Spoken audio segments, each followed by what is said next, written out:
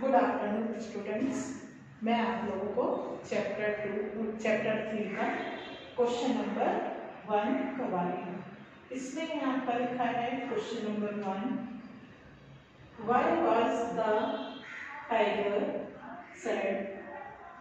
tiger दुखी क्यों था? The tiger was sad because they are killed tiger दुखी इसलिए था क्योंकि वे मारे जा रहे हैं Why was the tiger sad?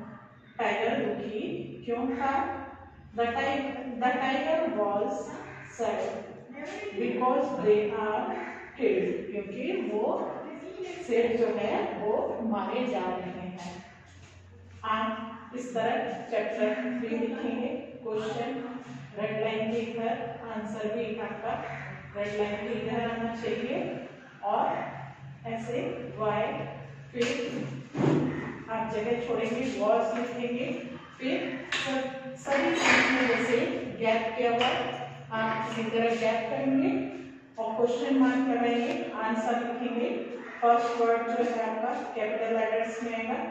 फिर बाकी सब इसी तरह आप गैप करके पूरा इसको लिखेंगे और क्वेश्चन आंसर आप लोग याद करेंगे और बहुत सफ़ाई से करेंगे और लिख के इसको भेजेंगे। और पेरेंट्स आपको ध्यान दीजिए, अपने बच्चे से लिखवाइए और उसको लिखवा कर भेजिए। अगर बच्चा अभी नहीं करेगा तो उनका बेस बहुत कमज़ोर हो जाएगा। आप इसीलिए थोड़ा सा ध्यान दीजिए। उसे लिखवाइए और उसको पढ़ने के लिए भी उसको बोलिए कि बच्चा पढ़ेगा।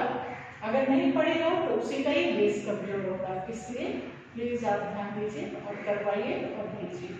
Thank you